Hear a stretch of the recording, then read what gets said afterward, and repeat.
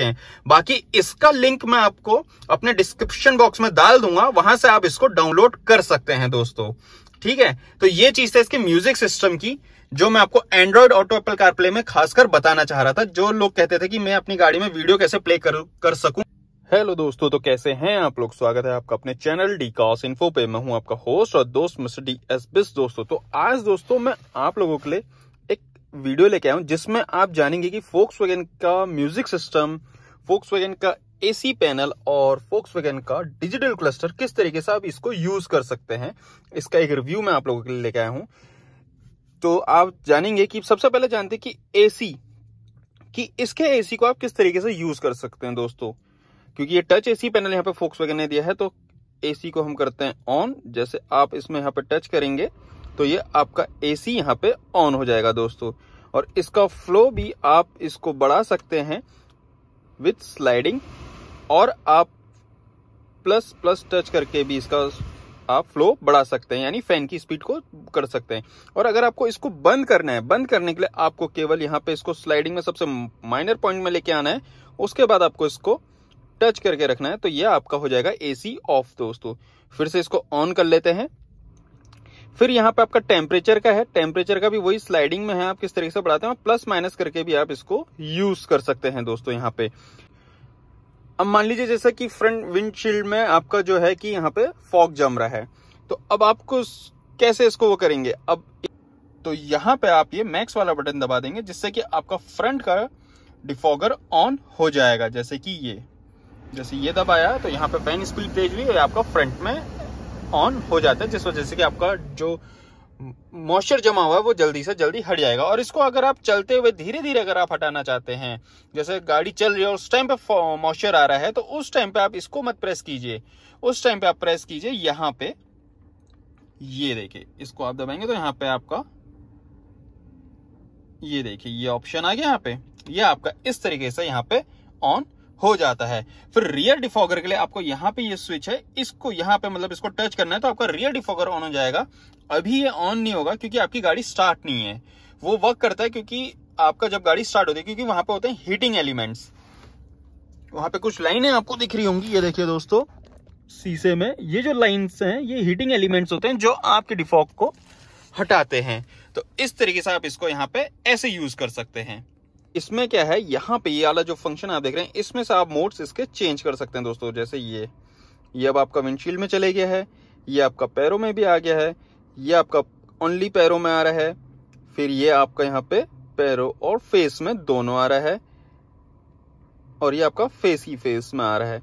तो इस तरीके से आप इसको चेंज कर सकते हैं दोस्तों। बाकी इसको ऑन करने के लिए यहाँ पे आप देखेंगे तो यहाँ पे भी आपको एक दिया है। इसको यह आपका अंदर से ही एसी की आ, हवा को वो करता है उसको कूलिंग करता है बाहर से नहीं लेता है। इसमें अगर आप इसको ऑन करेंगे और हमेशा जब भी आप गाड़ी चलाएँ तो इसको ऑन करके रखिएगा जिस वजह से आपको बाहर की स्मेल नहीं आएगी। अब ये तो था एसी का। अब मैं आपको इसका बताता हूँ दोस्तों। तो आप समझ लेते हैं इसके क्लस्टर को कि इसके क्लस्टर को आप किस तरीके से यूज़ कर सकते हैं। सबसे पहले ये गाड़ी शेड में खड़ी तो इस वजह से इसमें आपका please switch on the lights आ रहा होगा दोस्तों। तो पहले लाइट स्विच ऑन कर लेते हैं। ये हमने ऑटो मोड में कर दिया है। तो लाइट ऑटोमेटिकली ऑन हो गई है। अब मैं यहाँ पे से वो चीज़ आपका हट गया। अब इसके ये व्यू मोड को चेंज करना है तो यहाँ पे एक व्यू बटन है जिस वजह से आप इसको दबाएँगे और यहाँ पे आपका ये व्यू मोड चेंज होते रहेगा दोस्तों।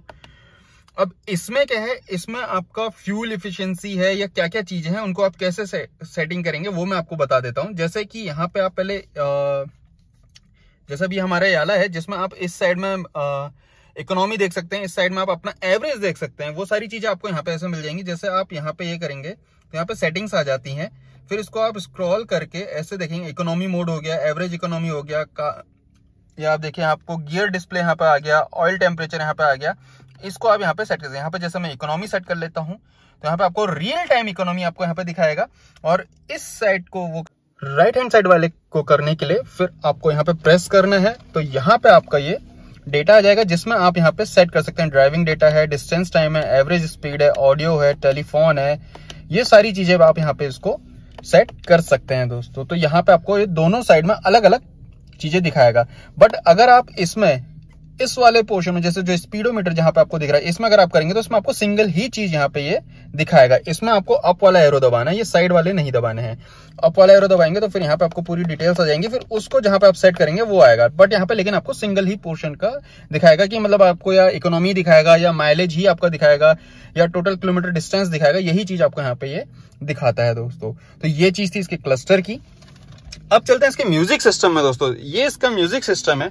इसके म्यूज़िक सिस्टम में आपको कई सारी चीज़ें यहाँ पे इंस्टॉल भी होती हैं। जैसे इसमें फोक्स आपको पाँच ऐप देता है इंस्टॉल करने के लिए। जैसे उसमें क्या करेंगे, सबसे पहले आप यहाँ पे होम बटन आपका आपने अगर ऐसा मेन्यू है, मान लीजिए ये है आपका तो आप इसमें होम बटन दबा देंगे तो आपका होम में आ जाएगा। फिर यहाँ पे आप कनेक्ट में जाएँगे। कनेक्ट में जाने के बाद यहाँ पे आप देख रहे होंगे वाईफाई और डिवाइस का ऑप्शन आ रहा है।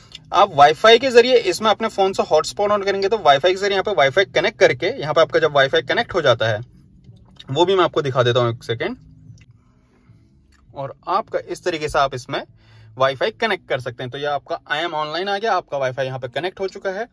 अब यहाँ पे क्या करना है आपको, इसमें ऐप इंस्टॉल करने के लिए आपको यहाँ पे साइड में आपको एक बैग जैसा दिख रहा होगा, इसमें आपको क्लिक करना है।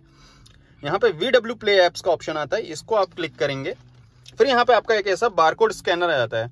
इस बारकोड स्कैनर को आप अपने गूगल लेंस के ज़रिए इसको स्कैन कर सकते हैं। फिर इसमें आपको आईडी बनानी पड़ेगी। जो आईडी आप वहाँ पे बनाएँगे, फिर यहाँ पे लॉगिन वाले फ़ंक्शन में जाके आप इसको लॉगिन करेंगे। तो यहाँ पे जब, जैसे जब आपका वो आईडी क्रिएट हो जाएगी तो यहाँ पे आपको डिटेल्स आ जाती हैं, क्योंकि अभी मैंने इसमें कोई आईडी क्रिएट नहीं कर रखी है तो इसलिए वो आपका यहाँ पे फ़ंक्शन नहीं आ रहा है। फिर वो क्रिएट करने के बाद यहाँ पे आपको एप्स लिस्ट आ जाएगी, जो इसके पाँच एप्स हैं, उनको आप इसमें डाउनलोड कर सकते हैं। फिर अब एक और चीज़ दोस्तों इस गाड़ी में आपको वायरलेसली एंड्रॉइड ऑटो और एप्पल कार एप्पल कारप्ले मिलता है और उसमें भी कई सारी चीज़ें मिलती हैं। वो चीज़ें जैसे मैं आपको दिखा देता हूँ। जैसे बहुत सारे लोग पूछते हैं कि, कि क्या इसमें आप वीडियो प्ले कर सकते हैं? तो बिल्कुल दोस्तों आप इसमें वीडियो भी प्ले कर सकते हैं। अब जैसे मैं अपना ब्लूटूथ खोलता हूँ और मैं यहाँ पे कनेक्ट करता हूँ। यहाँ पे फ़ोन कनेक्ट में जाऊँगा डिवाइस में जाऊँगा डिवाइस में मैं यहाँ पे एड डिवाइस करता हूँ। अब यहाँ पे मैं अपना एंड्रॉइड ऑटो कनेक्ट कर चुका हूँ दोस्तों। अब मैं यहाँ पे एंड्रॉइड ऑटो में क्लिक कर लेता हूँ। तो यहाँ पे मेरा ये इंटरफ्रेंस खुल गया है। मैं यहाँ पे इस ऑप्शन को करता हूँ। अब दोस्तों, यहाँ पे जो आप एंड्रॉइड ऑटो कनेक्ट करते तो इसमें आपको ये सारी फ़ंक्शन यहाँ पे मिल जाएँगे। वाईटी म्यूज़िक है स्पॉटिफाई है, ये सारी चीज़ें मिल जाएँगी, लेकिन आपको ये कार स्ट्रीम का लोगो यहाँ पे नहीं दिखाई देगा दोस्तों। तो इस लोगो के लिए क्या करना है आपको, अपने फ़ोन में एक ऐप इंस्टॉल करना है, जिस ऐप का नाम है ये देखिए दोस्तों ट्रिपल ए डी ये देखिए दोस्तों, आपको दिख रहा है ट्रिपल ए डी ये वाला ऐप आपको गूगल से इंस्टॉल करना है दोस्तों, यानी गूगल स्टोर से प्ले स्टोर से नहीं करना है। गूगल क्रोम से आप इसको इंस्टॉल कर सकते हैं। इसको जब आप इंस्टॉल कर लेंगे इंस्टॉल करने के बाद क्या है, आपको फिर एक और ऑथेंटिकेशन मांगेगा कार स्ट्रीम करके, फिर इसको आपको डाउनलोड कर लेना है। जैसे ही आप ये डाउनलोड कर लेंगे, फिर जब आप अपना आप एंड्रॉइड ऑटो और एप्पल कार प्ले कनेक्ट करते हैं तो आपको यहाँ पे ये कार स्ट्रीम का ऑप्शन मिल जाता है। फिर इसमें आप वीडियो प्ले कर सकते हैं दोस्तों। इस तरीके से देखिए, जैसे मैं इसको प्ले करता हूँ। ये देखिए दोस्तों। तो ये इस तरीके से आप इसमें वीडियो प्ले कर सकते हैं। यहाँ पे आपका ये वीडियो चलने लग जाएगा। इसमें आपको कई सारे ऑप्शन आ जाते हैं। जैसे अब मैं आपको दिखा देता हूँ, जैसे मैं इसको छोटा करता हूँ तो यहाँ पे देखिए आपको ये दिख जाएगी लिस्ट आप कौन सा गाना प्ले करना चाहते हैं। वो सारी चीज़ें ऑप्शन आपको यहाँ पे मिल जाते हैं। जैसा एज यूट्यूब में आपको जो मिलता है सेम उसी तरीके से आपको ये मिलता है। लेकिन मैं आपको एक चीज़ बताना चाहूँगा कि ये जो ऐप मैंने आपको डाउनलोड करवाया या आप करेंगे, उस ऐप को जो है, आपका सब्सक्रिप्शन आपको लेना पड़ेगा। शुरू के वन मंथ के लिए आपको फ्री मिलता है। शुरू के वन मंथ के लिए तो आपको फ्री मिलेगा लेकिन बाद में आपको इसका सब्सक्रिप्शन खरीदना पड़ेगा दोस्तों जिस वजह से आप इसका यूज़ कर सकें। बाकी इसका लिंक मैं आपको अपने डिस्क्रिप्शन बॉक्स में डाल दूँगा वहाँ से आप इसको डाउनलोड कर सकते हैं दोस्तों। ठीक है? तो ये चीज़ था इसके म्यूज़िक सिस्टम की जो मैं आपको एंड्रॉइड ऑटो एप्पल कारप्ले में खासकर बताना चाह रहा था जो लोग कहते थे कि मैं अपनी गाड़ी में वीडियो कैसे प्ले कर, कर सकूँ टैगन या वर्टस के म्यूज़िक सिस्टम में। बाकी आप यहाँ पे गाड़ी की डिटेल्स वगैरह देख सकते हैं। सारी चीज़ें आपको यहाँ पे मिल जाएँगी। जैसे आप इसको स्लाइड करेंगे तो आपको यहाँ पे गाड़ी की डिटेल्स मिल जाती हैं, जिसमें आपका सारी चीज़ें गाड़ी की डिटेल्स आपको यहाँ पे दिखती हैं दोस्तों। तो ये चीज़ें थी कुछ, जो मैं आपको दिखाना चाह रहा था। बाकी एक चीज़ और मैं आपको इसमें दिखा देता हूँ दोस्तों। जैसे मैंने अभी गाड़ी बंद कर दी, ठीक? अब मैंने क्या है, गाड़ी का दरवाज़ा खोला। बाय चांस ये काम आएगा तब आपके जब आप जैसे कहीं नाइट ड्राइविंग कर रहे हैं और आपका टायर पंचर वगैरह हो गया है तो उस कंडीशन में आप इस चीज़ को यूज़ कर सकते हैं। जैसे कि आप यहाँ पे, आपने मान लीजिए खड़े हैं और आपने राइट इंडिकेटर यहाँ पे दे दिया। ठीक है? अब आप गाड़ी बंद कर लीजिए। गाड़ी जैसी आप बंद कर लेंगे। तो आप एक चीज़ देखेंगे जो आपकी लेफ़्ट राइट हैंड साइड की है लाइट्स आपकी ऑन रहेंगी। ये उस कंडीशन में चलेगा जब आपकी गाड़ी पूरी बंद होगी, यानी इनिगेशन भी आपका ऑन नहीं रहेगा। आपने इंडिकेटर दे देना है जिस साइड को आपको इसका पार्किंग का दिखाना है। तो बैक साइड में आपका ये जले रहेगा बैक लाइट जले रहेगी और फ्रंट में आपका डीआरएल का इस तरीके से ऑन रहेगा। ये देखिए। तो इस तरीके से कुछ चीज़ें थी जो मैंने आपको बतानी थी। जो यूजफुल थी, जो हैक्स थे इसके, वो मैंने आपको इसमें बता दिए। तो आपको मेरी जानकारी कैसी लगी दोस्तों, मुझे ज़रूर कमेंट बॉक्स में बताइएगा।